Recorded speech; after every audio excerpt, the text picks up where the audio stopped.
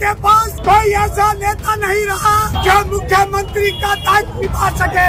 क्या जेल से सरकारें चलती है? नहीं चलती। ये सरकार अपना भ्रष्ट आचरण के डूबी हुई है। चोर बस चोर है।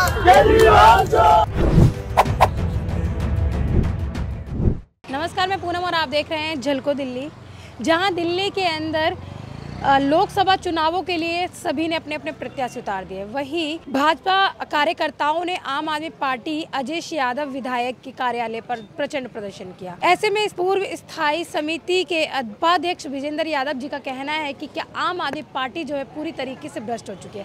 क्या पूरी आम आदमी पार्टी के अंदर कोई भी एक नेता ऐसा नहीं है जिसे मुख्यमंत्री बनाया जा सके, जिसके, जिसको मुख्यमंत्री की बागडोर दी जा सके? क्या केजरीवाल जेल के अंदर से ही बागडोर चलाएँगे। कब तक केजरीवाल मुख्यमंत्री बने रहेंगे? सुनिए, किस तरीके से विजेंद्र यादव ने क्या कहा? अपनी ताकत का एहसास दिलाया है। उससे विपक्ष के हौसले मस्त हैं।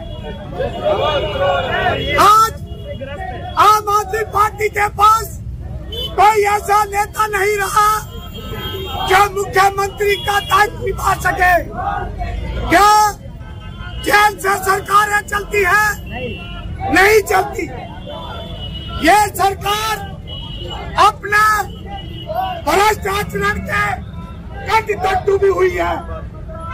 इस आम आदमी पार्टी सरकार के पास ऐसे नेता की आप फेरिस्त देख सकते हैं, जो जेल के अंदर है। इन लोगों ने कहा था यह था कि हम भ्रष्टाचार मिटाएँगे।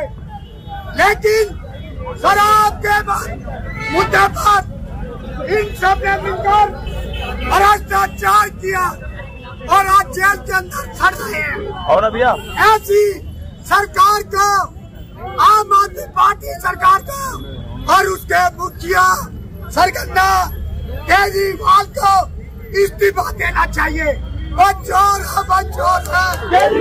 स्थायी समिति के पूर्व उपाध्यक्ष विजेंद्र यादव जी का कहना है कि केजरीवाल को अपने पद से इस्तीफा दे देना चाहिए और ये जब तक विरोध प्रदर्शन जारी रहेगा, जब तक दूध का दूध, पानी का पानी नहीं हो जाता, यानी कहें, कह सकते हैं कि आम आदमी पार्टी की सारी जो भ्रष्टाचारी की की पोल नहीं खुल जाती, तब तक बीजेपी है। इसी तरीके से लगातार दिल्ली के अंदर प्रदर्शन करती रहेगी। इसके साथ ही देखते रहें झलको दिल्ली अपनी राय में कमेंट सेशन में ज़रूर बताएँ। इसके साथ ही देखते रहें झलको दिल्ली में कैमरा मैन नरेश के साथ पूनम